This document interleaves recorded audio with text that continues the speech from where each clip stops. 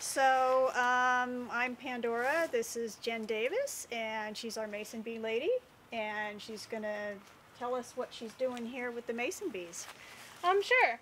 So mason bees are also called blue orchard bees, and that's because they're absolutely fantastic pollinators. Uh, one mason bee can pollinate, um, uh, a 15 foot fruit tree can be pollinated by about two to seven uh, mason bees and it takes almost 500 honeybees to pollinate the same tree. And that's because mason bees will fly in gray weather, lightly rainy weather, when it's a little colder. Uh, they tend to emerge earlier than honeybees. And they also are very intensive feeders because they don't like to go, go far from their homes. Honeybees can fly four miles round trip, sometimes even more for forage. And they're constantly replenishing their colony by making uh, more and more um, babies. And so a honeybee colony can be like 70,000 bees. Uh, mason bees have a very discrete life cycle that goes from March until around early July, late June, and then they're dormant for the rest of the year. So they don't have the kind of energy or quick replenishment of their um, colonies so that they can uh, forage for long uh, distances. So a mason bee likes to forage within about 300 feet, ideally, of where her home nests are. And uh, these are the home nests for mason bees right here. Um, I like to raise my mason bees in paper tubes. And you can see there's a brown outer tube and then there's a paper inner liner. And um, the reason why these are kind of ideal nests for mason bees in the wild, um, they would live in the pith of elderberry stems or maybe raspberry canes, bamboo. Uh, they are native, unlike honeybees. Mason bees are native to this continent, and there's uh, different species of mason bees that are scattered around uh, North America. The mason bees that I raise are uh, Osmia lignaria propinqua, and there's also um, some Osmia cornifrons, which are um, Asian hornface bees that tend to coexist with these mason bees. Um, and they're, uh, they're, those are imported but they they don't cause big problems for the mason bees. So they tend to um, cohabit with within these tubes. And this is a solitary bee. So unlike a honeybee, which has one queen that might um, lay a million eggs in her lifetime and then uh, raise, you know, thousands and, th and then thousands and thousands of young, um, uh, mother mason bee uh, will uh, lay her own eggs and take care of her own nests, um, unlike the social honeybee. So she's a solitary bee.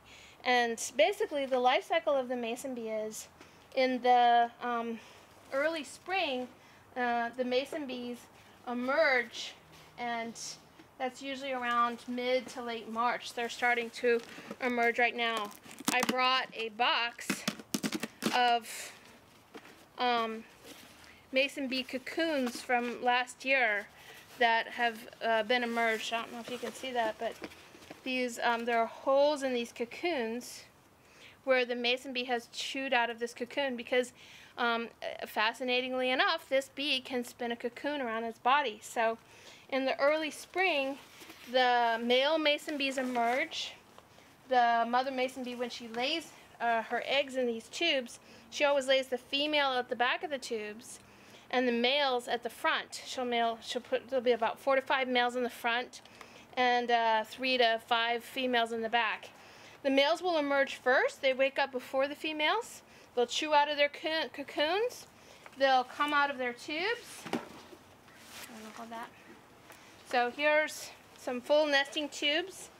So the males will come out and then they'll start pollinating right away because they're going to be drinking nectar from the nearby flowers and spreading pollen around while they're gathering energy for the females to come out. The females will chew from their cocoons and come out next. And the males, you'll see them coming back and forth, back and forth to the tubes, waiting for the females. Sometimes they get so excited they go in there and they help the females chew out of their, their uh, cocoons. And um, then the males and the females mate. The males die, and the female gets very busy laying her eggs in these tubes. So she'll lay her fertilized eggs in the back. She takes a ball of mud. They're called mason bees because they use mud to fill their um, tubes to create different chambers for each egg. So she'll go to the back of this tube, she'll make a little mud pellet, then she'll lay an egg, then she'll go and make some bee bread, which is pollen and nectar mixed together, and it's a little pellet, little tiny pellet, and she'll stick it in there with the egg, and then she'll seal that chamber with mud, and she'll continue that uh, eight to ten times typically within a tube. And uh, Mother Mason bee in her lifetime might fill two to four of these tubes. And then she'll die um, mid to late June, sometimes to early July. And um, then these eggs within these tubes will start to hatch. The larva, the little worm inside, will eat the bee bread that the mother has left for it. And then it will spin a cocoon around itself. And within the cocoon, the larva will pupate overwinter into an adult. And um, then the life cycle starts all over again in about mid to late March, uh, depending. Um, our spring has come really early this year. I would say that flowers are blooming probably 20 days earlier typically than they did last year.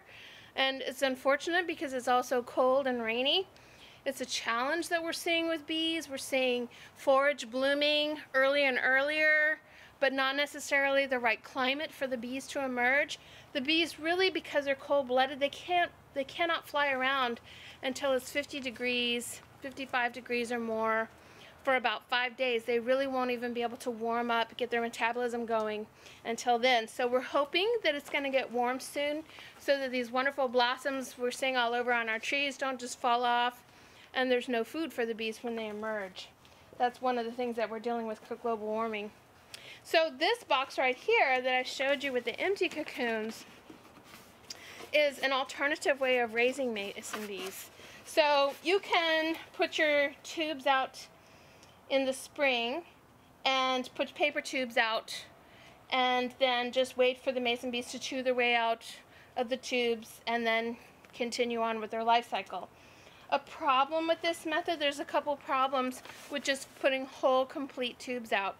One of the problems is because the that will leave a bunch of dirty tubes sitting around for the mason bees to come back and use.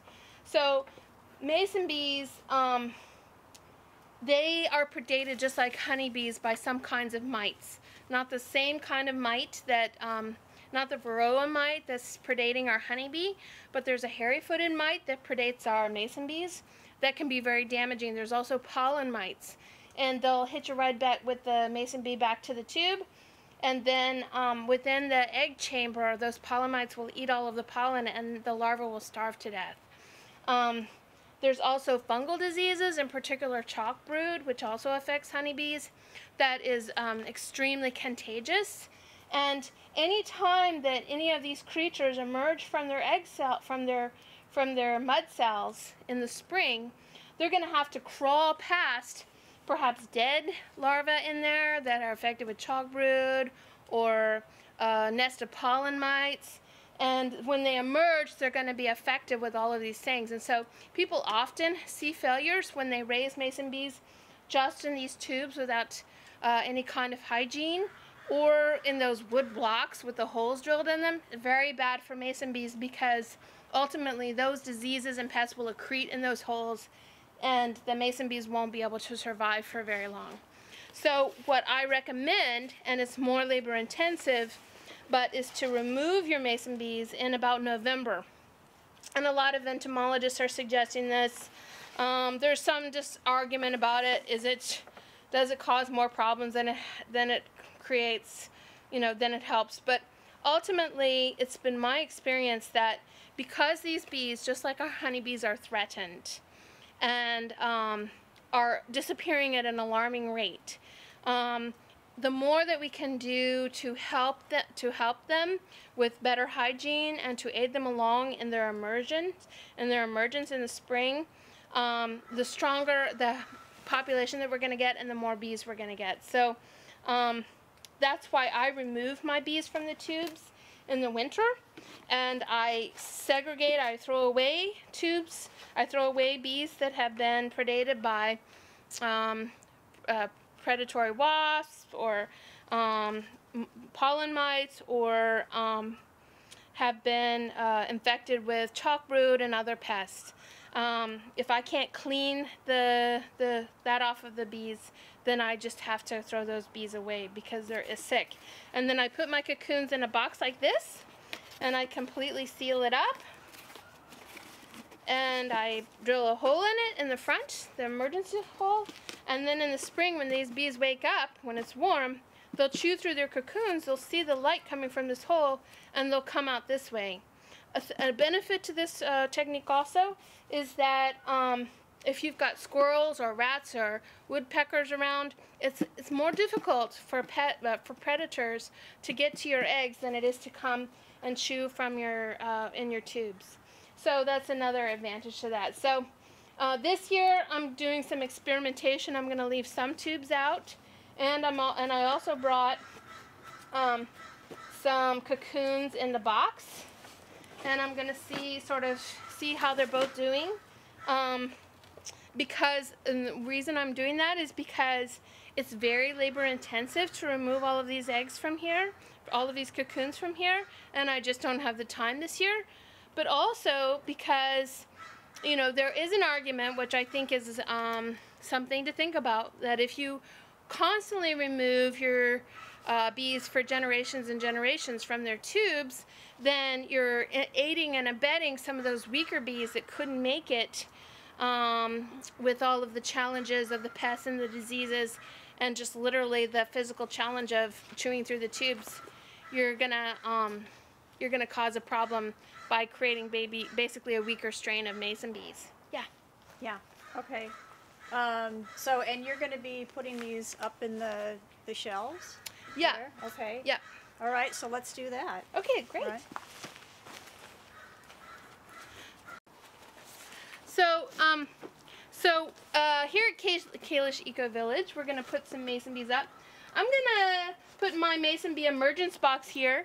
This is full of alive, sleeping mason bees that are in their cocoons. And you can see this little hole here. This is where they're gonna emerge when they wake up. And then they'll start their life cycle. And then I've got some uh, nesting tubes for them.